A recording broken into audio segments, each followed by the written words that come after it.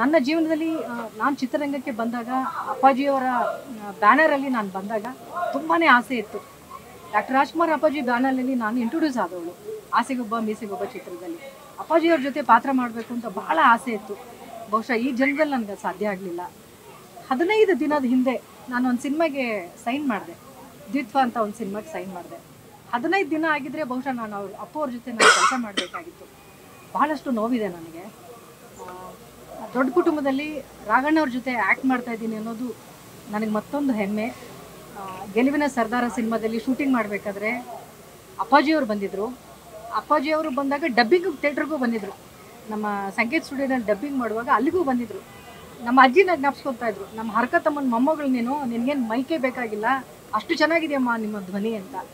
ಅಲ್ಲಿ ರಾಘಣ್ಣ ಆ್ಯಕ್ಟ್ ಮಾಡುವಾಗ ಇಡೀ ಕುಟುಂಬದವರು ಅವ್ರು ಬರ್ತಾ ಇದ್ದಿದ್ದು ಸಪೋರ್ಟ್ ಮಾಡ್ತಾ ಇದ್ದಿದ್ದು, ಅಮ್ಮ ಬರ್ತಾ ಇದ್ದಿದ್ದು, ನಾನು ಎಂದಿಗೂ ಮರಿಲಾರೆ.